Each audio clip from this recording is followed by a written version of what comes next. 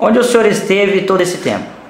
Ah, estive em vários lugares, né? Então, aí eu, nós vamos deixar mantido aí em sigilo.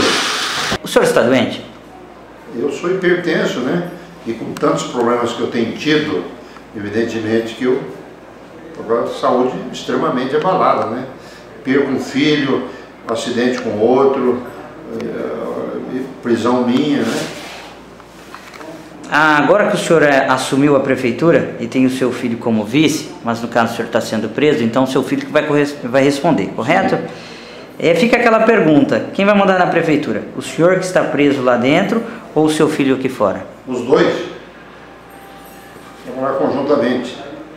O senhor tem esperança de conseguir um habeas corpus?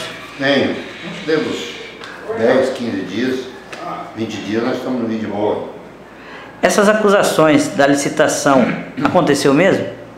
Olha, nós fizemos tudo de uma maneira muito lícita, lícita é, é, e vamos provar na justiça que nós somos inocentes, que não fizemos nada ilícito, que não devemos nada para o erário público.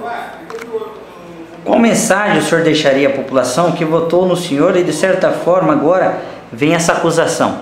Nada, agora vamos pegar firme o desenvolvimento da cidade, no lugar merecido e buscar o desenvolvimento, a melhoria da saúde e a melhoria da educação.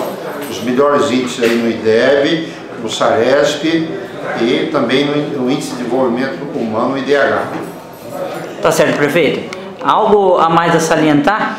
Salientar que nós estamos firmes para encarar esse grande desafio aqui da administração de ilha solteira em face da grande adversidade que vive o país neste momento de uma crise profunda.